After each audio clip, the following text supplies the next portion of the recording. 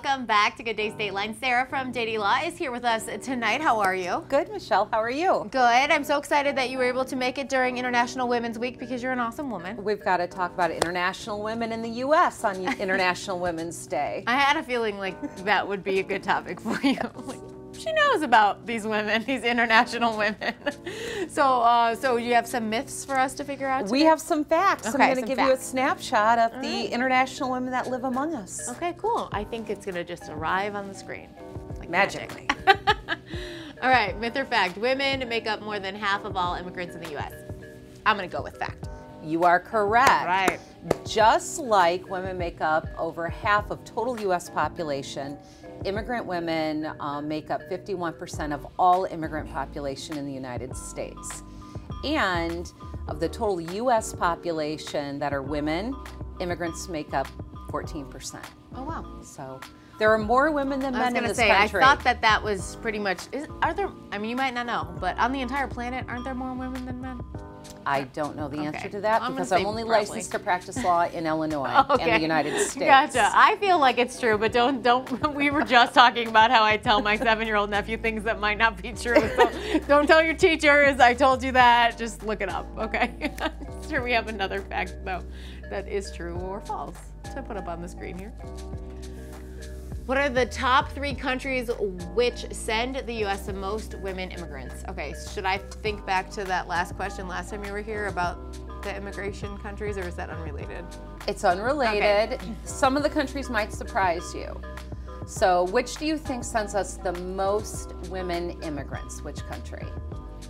Well, I'm, Germany was on that list, but I don't think Germany's involved here. No, it's not Germany. Poland? No. Mexico Okay. Did you know that? sends the top uh, number of female immigrants to the United States, and then we have India Okay. and China. But what's interesting is while Mexico makes up almost 23% of immigrant women in the US, Okay. and India and China about 5% each, 44% of all immigrant women in the United States come from every continent Oh, wow. in the world. So we've got a lot of countries represented by women immigrants in the US. Which is pretty awesome. Because, you know, it's a good place to be a woman and I don't know, we get Trying to make one. it better, right? yeah. I think we have another one. Okay. Female immigrants outnumber male immigrants from which seven countries? Yes, Michelle, seven countries. Germany? No. Mexico? Germany is not on the list. No. Interestingly, not Mexico. China. China, Okay.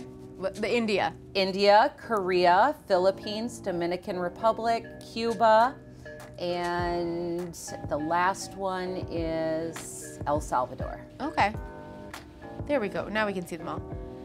Mm, a lot of those countries are near each other? Question mark. Well, you've got a lot of. Asian countries and Central American. I really am bad at geography. And you're like, I know, I've met you. I am good at other things. I'm not good at geography. I'm not good at memorizing countries. Um, but that's another reason why you come and teach us stuff. Because I'm everyone- trying. I'm we- doing my best. A lot of people you, don't know this stuff either. But it is super important to talk about because, like you said, you know, if you're talking about immigration in general and why it is so important to find ways for people to uh, have an easier time, um, women are making up just over 50% of that. Well, so I think there are a lot of misconceptions about immigration in the U.S. We seem to think that all the immigrants that come here come here without permission, which they're only about three and a half percent Sure. of U.S. population. The vast majority of immigrants come here lawfully. And we have more women immigrants than male, which is something I think most Americans don't know. Has that been true for some time? It's been true for a long time. yeah. Women looking to have a you know place where they feel like they can have maybe a better life, which I Well, that's, that's good for human, America, right? Yeah. And we want people to have a better life in the United States. We want to have a better life, Mm-hmm. Yeah. right? Yeah. Very cool.